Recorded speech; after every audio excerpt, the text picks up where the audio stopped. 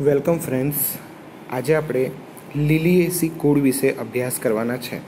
વિદ્યાર્થી મિત્રો લીલીએસી કુળ એ સામાન્ય રીતે એક ડળી વનસ્પતિની લાક્ષણિકતાનું પ્રતિનિધિત્વ કરે છે અને આ વનસ્પતિઓ વિશ્વમાં બધી જ જગ્યાએ વિતરિત હોય છે. વાનસ્પતિક લક્ષણોની વાત કરીએ તો ભૂગર્ભીય કંદો ગાંઠામૂડી વજ્રકંદો અને એની સાથેનો બહુ વરસાઈ છોડ છે. બરાબર?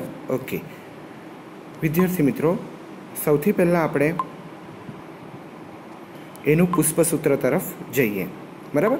ચાલો, તો પુષ્પસૂત્ર છે આ રીતનું. બી આર એટલે કે નિપત્ર, પછી નિયમિત પુષ્પ, દ્વિલિંગી એટલે કે ઉકેસર ચક્ર અને સ્ત્રી કેસર ચક્ર બંને આવેલા છે અને ત્યાર પછી આવું આપેલું છે P three plus three three P એટલે પરિપુષ્પ અને પરિપુષ્પ એ એટલે કે પુકેસર સાથે પરિપુષ્પ જોડાયેલા છે.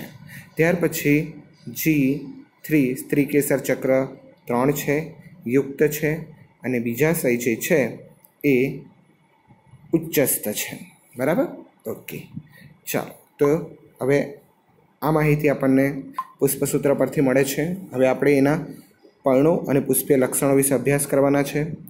સામાન્ય રીતે પર્ણ મુખ્યત્વે તલસ્થ છે, એકાંતરિત, એક પછી એક, રેખીય અનુપપર્ણીય અને સમાંતર શિરાવિન્યાસ ધરાવતા હોય છે. પુષ્પીય લક્ષણોની વાત કરીએ તો પુષ્પો એકાકી છે, પરિમિત છે. ઘણીવાર છત્રક પ્રકારનો પુષ્પ વિન્યાસ જોવા મળે છે કે જેવી રીતે ડુંગળીની અંદર જે છત્રક પ્રકારનો પુષ્પ વિન્યાસ જોવા મળે, તેવો જ પુષ્પ વિન્યાસ આ રીતનો છત્રી જેવા આકારનો એનો પુષ્પ વિન્યાસ હોય છે.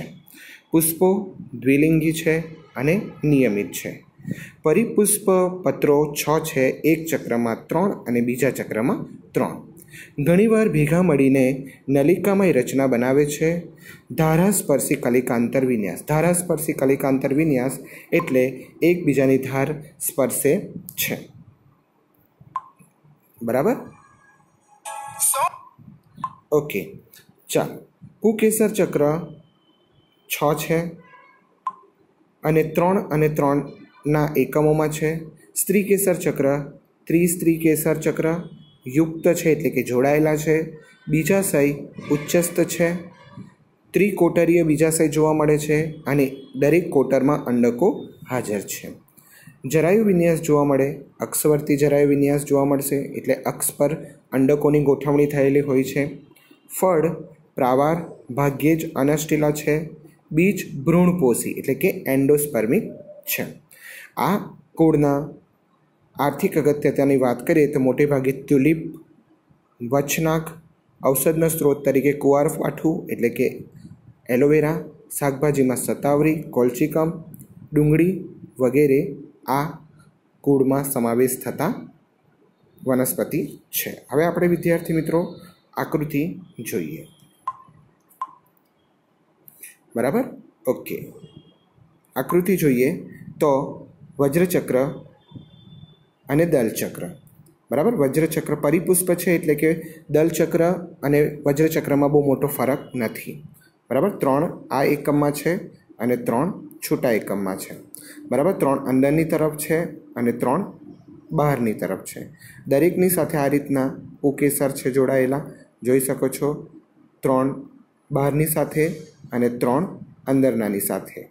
દરેક ચક્રમાં આ રીતના પુકેસર જોડાયેલા છે. બરાબર? ઓકે ત્યાર પછી જરાય વિન્યાસ જોઈએ તો અક્ષવર્તી છે, અક્ષ અને અક્ષ ઉપર અંડકો ગોઠવાયેલા છે. બરાબર? તો આ રીતે આપણે પુષ્પસૂત્ર પરથી આકૃતિ દોરી શકીએ છીએ.